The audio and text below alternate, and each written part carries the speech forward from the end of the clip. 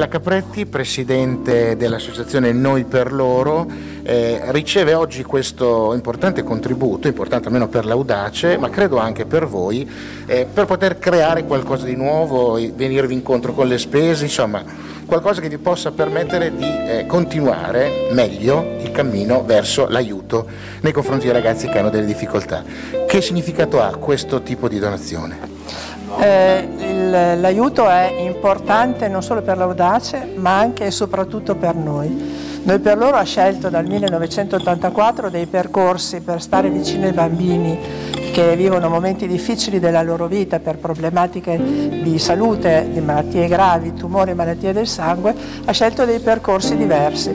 Andiamo dalla donazione di strumenti di diagnosi e cura all'ospedale, alle borse di studio, al sostegno economico alle famiglie. E questa attività variegata e a 360 gradi riusciamo a farla soltanto perché ci sono occasioni e persone come queste che ci sostengono. Noi cerchiamo di essere un mezzo per arrivare ai bambini ricoverati in ospedale, ma in realtà sono le persone che ci aiutano, che, arrivano, che aiutano i bambini in difficoltà attraverso noi. Ecco, magari questa donazione vi può servire anche per pagare semplicemente un affitto o costruire qualcosa o comprare una macchina, c'è un obiettivo che avete già in mente per utilizzare questi soldi? Sì, noi abbiamo quelli che noi chiamiamo i progetti sempre aperti, nel senso che c'è qualcuno, qualche progetto che ha un inizio e una fine, ma qualcun altro che è sempre aperto, ad esempio il sostegno alle famiglie.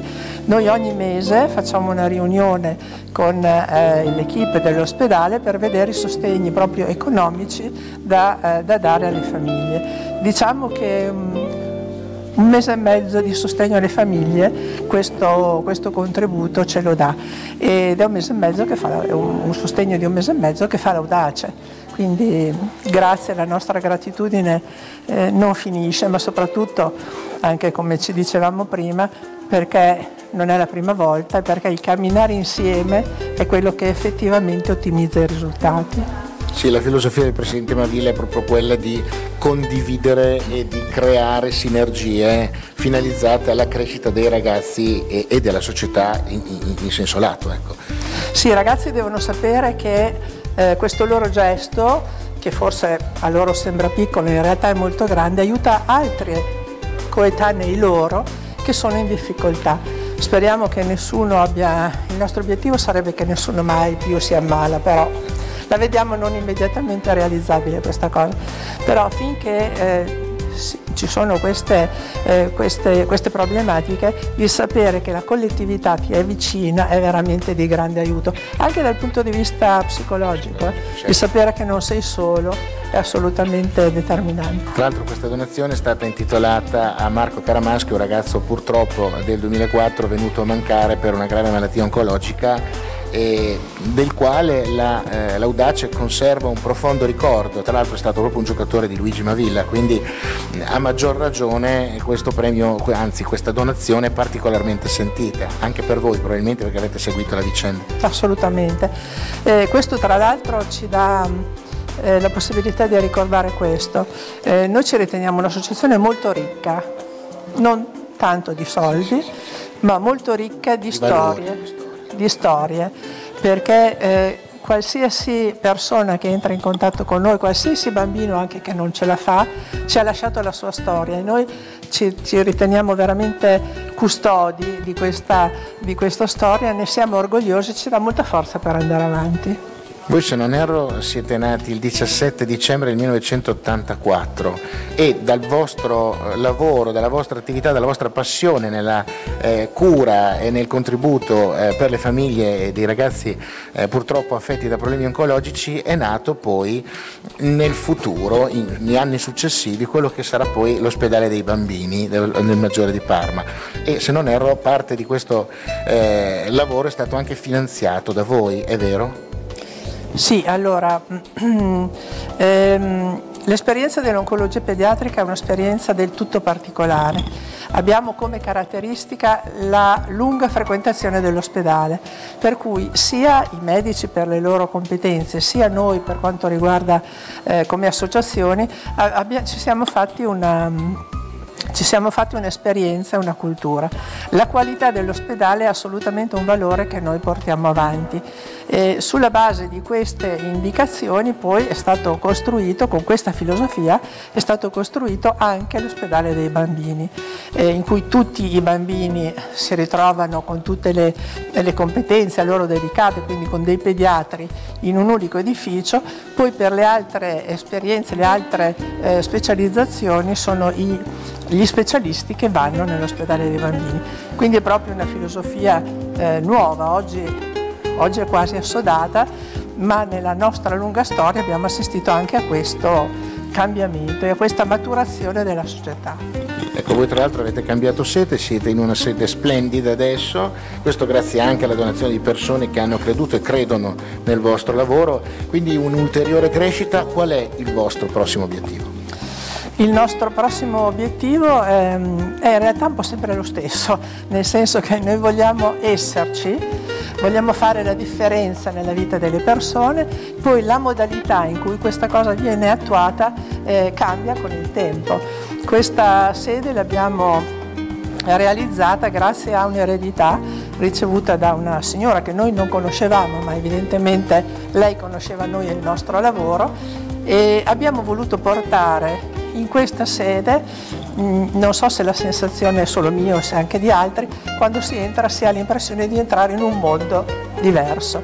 Eh, il nostro architetto, che è poi il nostro segretario, ha avuto questa intuizione, per cui tutte le nostre attività hanno uno spazio dedicato, ma i collegamenti con l'ospedale, con la nostra storia sono sono del tutto presenti e ne fanno parte integrante. Ecco, chiudiamo parlando proprio delle vostre attività, in che cosa consistono concretamente? Allora, come, come ho eh, un po' anticipato prima, eh, le nostre attività sono suddivise, noi dividiamo la nostra attività in progetti, perché sulla base di quello, sulla base delle necessità economiche, programmiamo l'attività futura. Eh, avevamo una bellissima attività di socializzazione che adesso abbiamo dovuto lasciare un po' in congelatore per via di questa eh, pandemia che ha sconvolto la vita di, di tutti, però abbiamo cercato di utilizzare delle modalità diverse utilizzando gli strumenti, gli strumenti attuali. C'è però un'attività un che si vede poco, ma abbiamo sempre sostenuto il, reparto con tante piccole cose. All'inizio quando non si trovava il gel, le mascherine al di sopra delle necessità eh, delle, forniture fatte dall'azienda pubblica, strumenti per avvicinare per esempio dei tablet piuttosto che eh, degli abbonamenti all'ipotesi, piuttosto che il potenziamento di internet. Poi abbiamo un'attività che è quella in assoluto che sia più cara che è di sostegno economico alle famiglie, eh, che comprendono il progetto che noi chiamiamo di accoglienza, comprende anche eh, la gestione nella casa di accoglienza che noi abbiamo in Borgo Tanzi, sono sei alloggi nei quali ospitiamo le famiglie che vengono da lontano ed è una casa che va evidentemente eh, gestita anche nelle piccole cose, dal, dalle bollette alle manutenzioni, perché ormai è stata inaugurata nel 2004, quindi sono tanti anni e quindi come in qualsiasi caso sono necessari lavori di manutenzione e la gestiamo, accogliamo le famiglie e, e per noi questo è il progetto di accoglienza. Nel nostro ultimo giornalino abbiamo pensato di focalizzare la nostra attenzione, è un'attività che abbiamo sempre fatto, ma diciamo che difficilmente l'abbiamo presentata in modo così coordinato. Quindi il nostro progetto A come accoglienza è un in realtà cambia forse la comunicazione ma noi lo facciamo allo stesso modo. L'altro progetto che invece vogliamo cominciare adesso è cominciare a parlare di ricerca. La ricerca in campo medico eh, richiede finanziamenti molto importanti che è al di fuori della nostra portata, però noi possiamo intanto capire e condividere con altri che cos'è la ricerca, perché non pensiamo soltanto alle grossissime, alle grandissime scoperte, pensiamo anche alla ricerca clinica, il come fare stare meglio il bambino nel nostro caso oppure il paziente a, al letto nel quale si trova in ospedale. Quindi il parlare di ricerca è il parlare di approfondire e appoggiare anche piccoli progetti è uno dei nostri, eh, dei nostri progetti su cui focalizzeremo la nostra attenzione. Infatti abbiamo detto A come accoglienza, R come ricerca.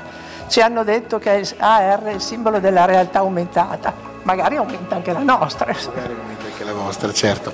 E quindi c'è bisogno anche di finanziamenti, quindi così come è stato quello dell'Audace, chiunque può contribuire, aziende privati, alla crescita vostra e che corrisponde poi alla salute e a una migliore possibilità di vivere la vita nel modo più corretto e più felice possibile anche di famiglie che hanno ragazzi purtroppo con problemi oncologici. Assolutamente sì, assolutamente sì, questo è il nostro obiettivo, rendere migliore la qualità della vita dei bambini e delle loro famiglie. E allora in bocca al lupo perché è un principio grazie, grazie anche a voi e grazie per il sostegno senza il quale non andremo avanti. Grazie a lei. Grazie.